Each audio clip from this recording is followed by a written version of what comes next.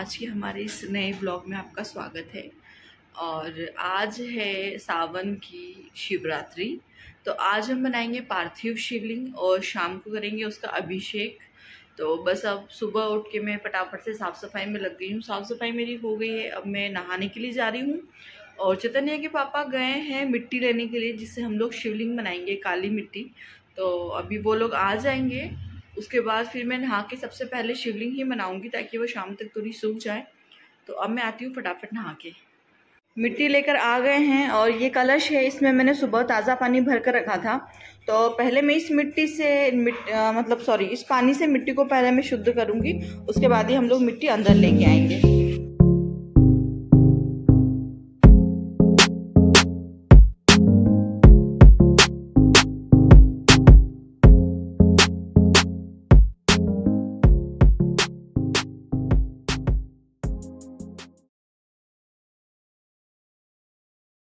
मैंने नहा लिया है और अब मैंने फटाफट फटाफट नहाया क्योंकि बहुत सारा काम है, शिवलिंग बनाना है।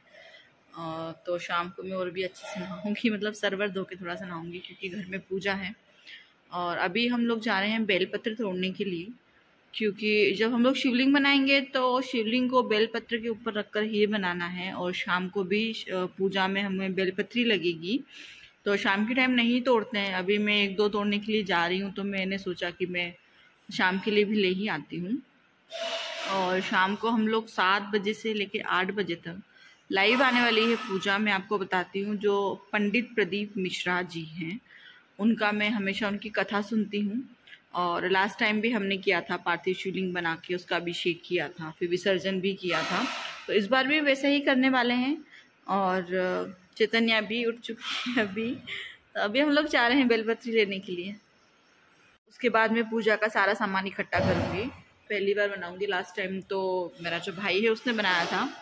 तो मैं बना के देखती हूँ कि मैं पूरी श्रद्धा के साथ बनाऊँगी, लेकिन देखते हैं कि कैसे बनती हैं।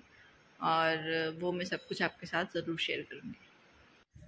बस, अभी हम लोग जा रहे हैं, घर से हम लोग निकल चुके हैं और हल्की हल्की सी बूंदा बांदी सी हो रही है। बारिश हो रही है, मौसम एकदम सही हो रहा है।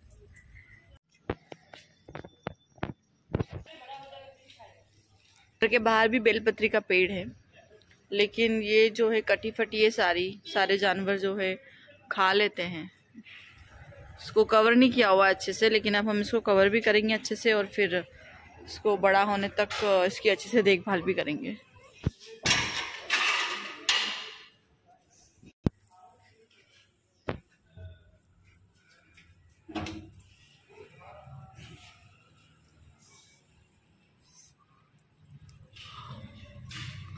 काफ़ी बड़ा सा पेड़ है ये बेलपत्र का। और अभी हम लोग यहीं से बेलपत्र लेने वाले हैं। हमें गिन के बेलपत्री लेना है। सात बेलपत्री लगेगी पूजा के लिए और हम लोग तीन लोग मिलके पूजा करेंगे। तो हम लोगों को इक्कीस बेलपत्री लेना है। ये देखिए, इस तरह से हमें लेना है। ये कहीं से भी कटा फटा नहीं है। तो इसी तरीके से हमको इक्कीस बेलपत्री इकट्ठा करना है और साथ में एक एक एक्स्ट्रा करना है, क्योंकि वो हम लोगों को जब हम लोग शिवलिंग बनाएँगे तो उसके नीचे रख के फिर ही हम लोगों को शिवलिंग बनाना है।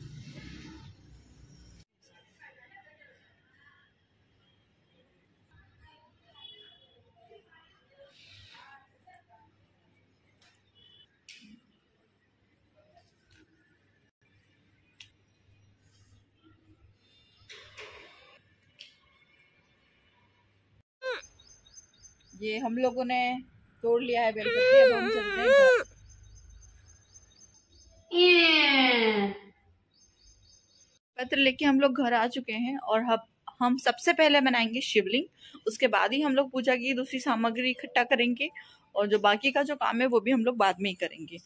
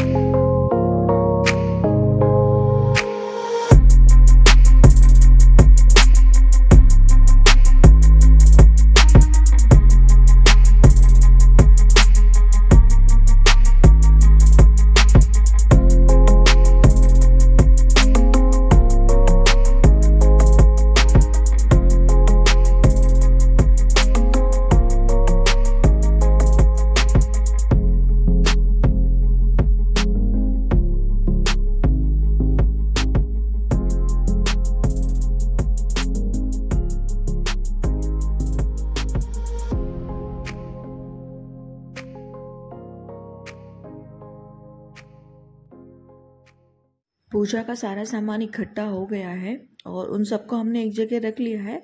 अब हम करेंगे पूजा शुरू। पूजा के लिए सभी लोग इकट्ठा हो रहे हैं और सभी ने अपना अलग शिवलिंग बनाया है और अब सब साथ में ही मिलके हम लोग पूजा करेंगे।